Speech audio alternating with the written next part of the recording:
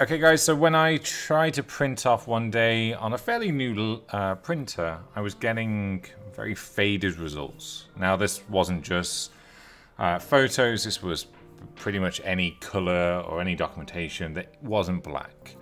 Could not figure could not figure it out.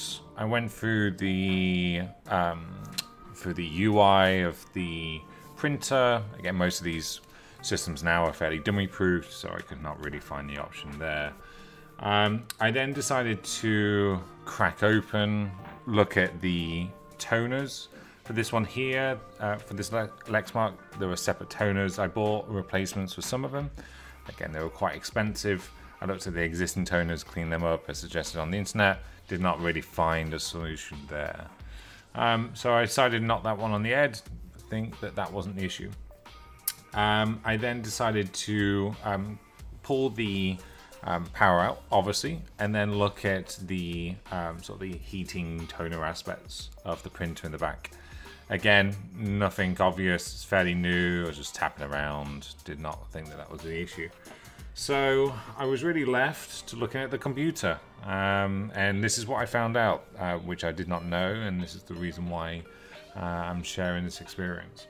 So obviously updating the print, uh, the drivers, but um, if you go into the start um, and then type in printers, um, you'll then see all your available printers, obviously. Um, in here, you see my Lexmark is the only one here, but if you click on that or your equivalent and click manage on the left hand side, uh, click printing preferences. Uh, you'll see a similar layout, but uh, on, on the top here you'll see quality. And I did not know this, but it will take on the quality as stated by the printer. But you can override that by explicitly highlighting uh, detail.